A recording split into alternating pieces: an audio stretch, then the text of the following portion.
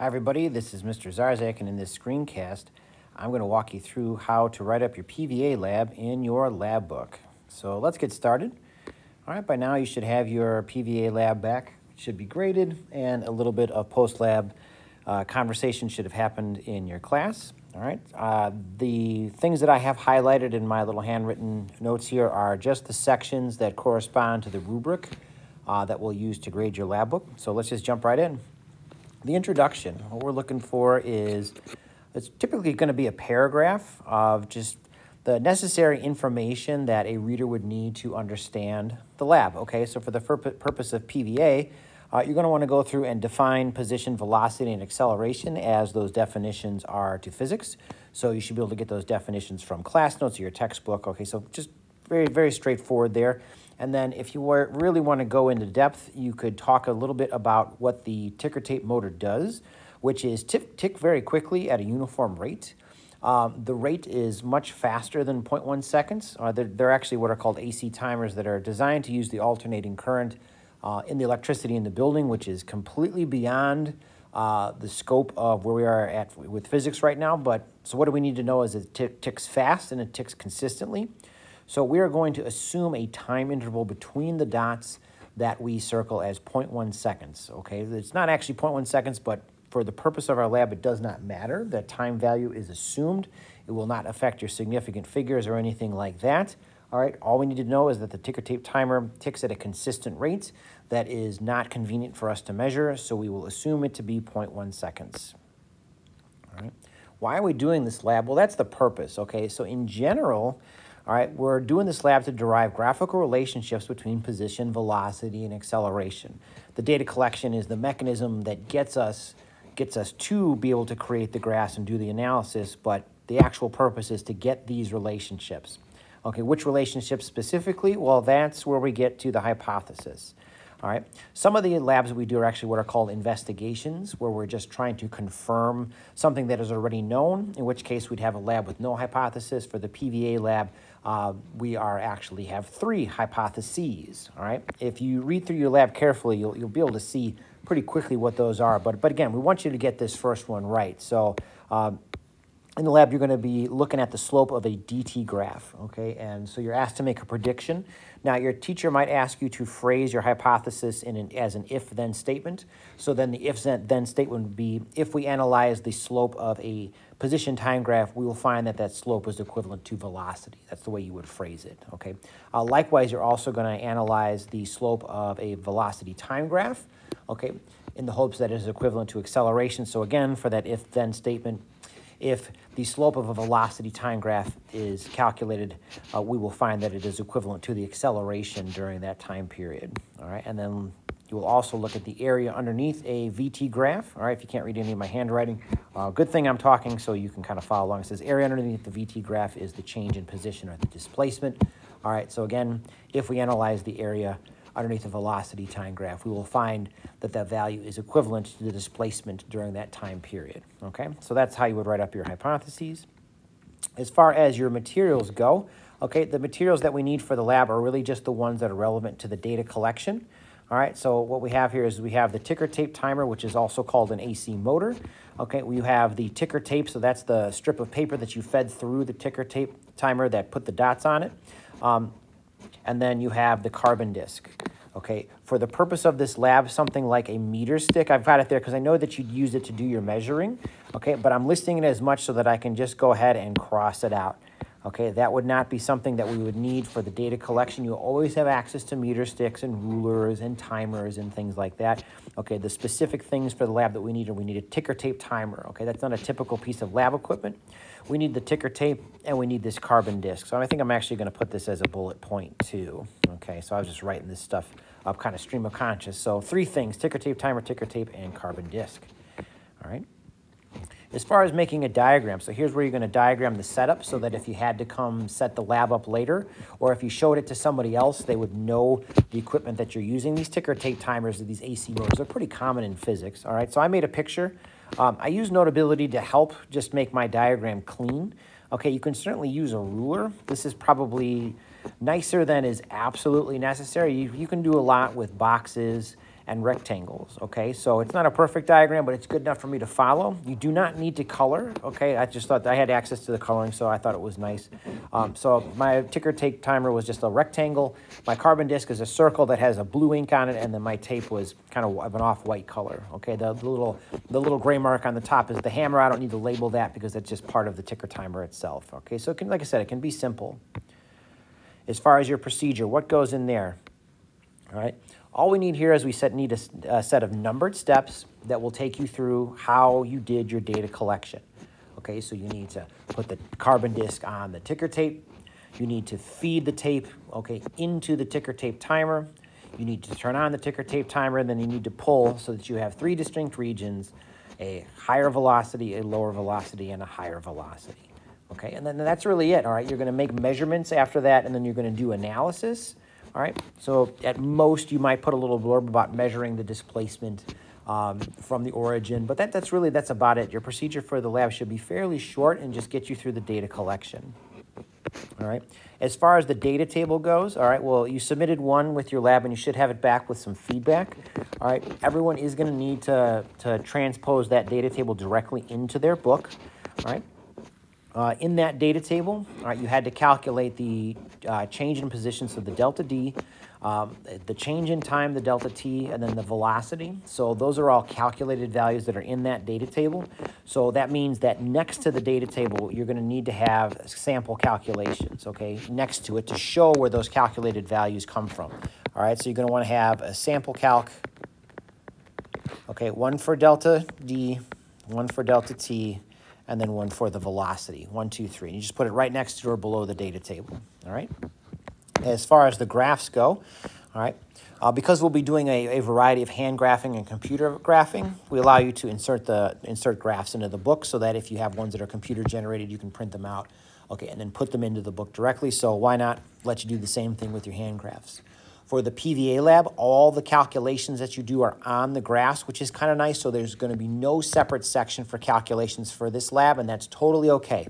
Right, you don't need to rewrite the calculations all over again that you've already put on the graph into the lab book.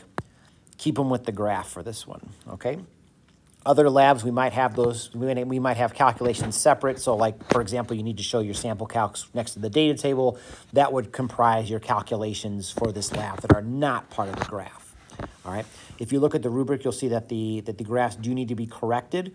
Um, that includes the calculations that go with the graphs. So so make them nice, make them perfect. If you can correct your graded copy, all right, without it turning into too big of a mess, by all means do that. All right. If you need to make a whole new graph with new calculations to get it right because you really messed it up, fine, do that. Whatever you need.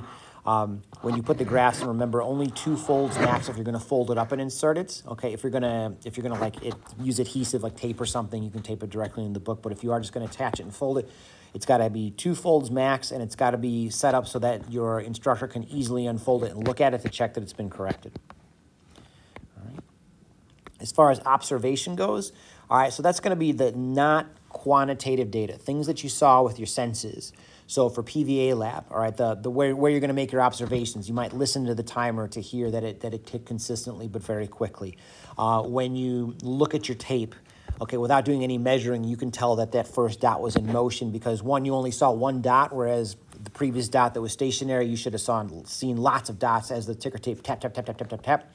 Um, you could also look at that first dot and see that there is most likely going to be a, a trail or a smear okay, that would represent that the fact that the thing was in motion. Um, so those would all be observations. You can also make observations that, hey, when the, the when the tape was moving faster, the, the dots were face, spaced farther apart, or when the tape was going more slowly, the dots were bunched up. All right, so I think I just listed off at least five observations there. You need a minimum of three, so hopefully that should be pretty easy for you. When you get into the interpretation section, this is where you're going to take and you're going to explain what the numbers that you calculate tell you, okay? And this is a big one. This gets dropped a lot. You need to quote the numbers. Okay, we're not just speaking in general terms here. Here's where, look, I did the lab. I've got my data. I did my calculations. This is what those numbers mean. All right, so just as a couple of, of, of examples here, because I've just made up some hypothetical numbers. Um, this is where you can use the lab questions to your advantage. All right, you're not allowed to transpose the questions specifically. Those questions are there to help you write up your narrative. All right, so one of the questions in the lab asks you to compare the process of calculating slope to the process of calculating velocity. Now, you're not allowed to be like, question two, you know, calculate, compare this process, but, but when you get in your interpretation, you can talk about, okay, what you did. Hey, in the lab, we computed the velocity for a given change in time. We then took and we calculated the slope of the position time graph. We observed that the formula that we used was exactly the same. We observed that the data values that we used, including the units, were exactly the same. Because of all of this, it is reasonable that the slope of a velocity graph is, in, or the slope of a position graph is velocity. Okay, so you're kind of summarizing the logic and you're quoting the direct number. So I have some, some hypothetical numbers here that will of course be different than yours. Okay, but I would use that in my narrative. The slope was 1.2 meters per second. The velocity during that time frame was 1.2 meters per second. Same value, same unit, same way of calculating.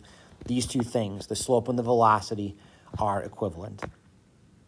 You can apply that same process for the for the slope of the VT graph. And I misspelled slope. Look at that. Here, let's put that over there. How did that get like that? Okay, well, that's a slope, I promise. Um, same process for the slope of the VT graph, okay, and then the same process for the area underneath the velocity time graph and the corresponding change in position on the position time graph, okay? So you want to address all three there. So the interpretation is going to be probably a healthy paragraph for you to hit all that stuff, all right? In terms of the error analysis, okay, so for the, the goal is to get in the range of like three to five errors. I myself will take three errors as long as they are legitimate errors and you explain the bullet points that come with them below. For this first round through, you might want to think about doing a couple more just to give yourself a little cushion. All right. As far as the errors go, uh, what we're looking for is for the source of the error. So, so, so some of the errors are that are inherent to the lab that we can't do much about, and other ones are uh, limits to the precision of our tools, things like that, all right? So in terms of the PVA lab, easy errors can have to do with the way that you had to, to measure the displacements, okay? Many, many of you struggled early on with like, well, how do I measure to these dots, and this is all smudged, or this is too light, okay? Any of those things are potential error sources. And likewise, um, the time values are assumed as well. So there's another potential source of error.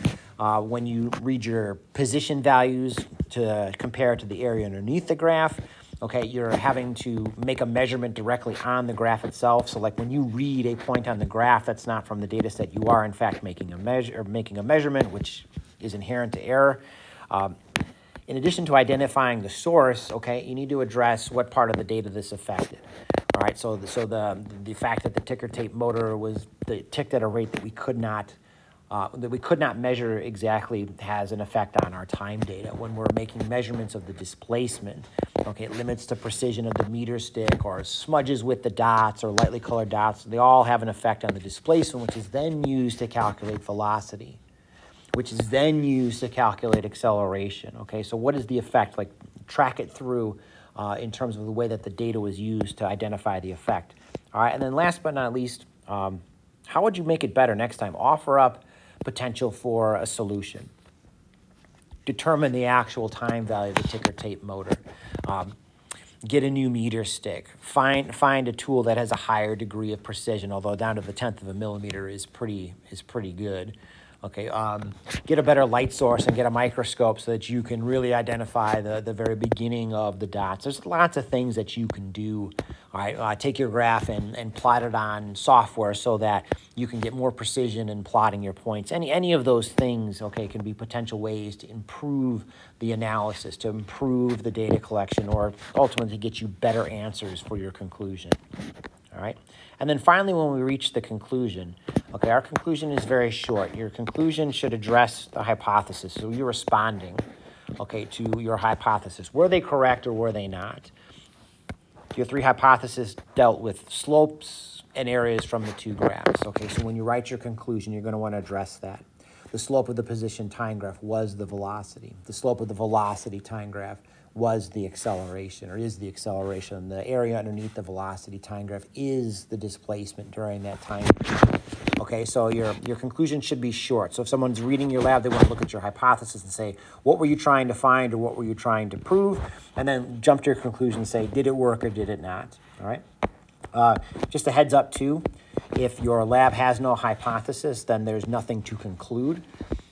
In which case, your interpretation takes care of all of your analysis. You actually stop the lab report after the error analysis. Okay, so I know that was quick, or maybe this video is very long, I'm not even sure, but hopefully all that information will be useful to you as you're transposing um, and synthesizing all this stuff from the PVA and your lab book. If you have questions, there's lots of good resources out there. Um, just a few things that we've got posted on the channel. We have SIGFIG tutorials, so both with how to, to make the measurements and how to do calculations uh, with significant figures. We've got a great video on all of our graphing procedures that's like 25 minutes long. So, I mean, there's plenty of things that um, you can look at there. Excuse me. And then a reminder, because it gets missed, um, if you have calculated values in your data tables, uh, please do make sure to show sample calculations. All right. Beyond that, there's all kinds of stuff that's posted online for you for additional resources so that you don't have to watch the entire video. And of course, your instructors really want to help you get this right as well. So don't be afraid to reach out to us. All right.